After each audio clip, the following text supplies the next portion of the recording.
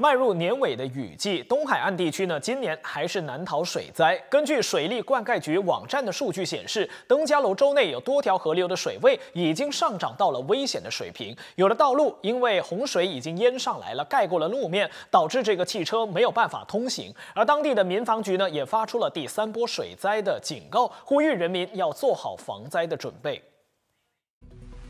今天下午，登嘉楼雾树县还在下着大雨，水位在短时间内上升到民众的腰身。只见民众纷纷搬动家里的物品以减低损失。在被洪水淹没的马路上，许多车子和摩托车都被迫放缓车速涉水而行。部分道路也因为水位太高，让一般的交通工具没办法行驶，民众只能撑着雨伞在洪水当中慢慢前进。不过，有一些小朋友看到家门前已经淹水，反而高兴地加入戏水行列。另一边乡，在登嘉楼的真德林渔村，因为海水涨潮的关系，渔民们没有办法出海捕鱼。不过为了生计，渔民也只好想出替代的方法，改在海边抓鱼。尽管海浪不停地往渔民身上拍打，但是他们依然冒着生命危险，拿着工具在水中抓鱼。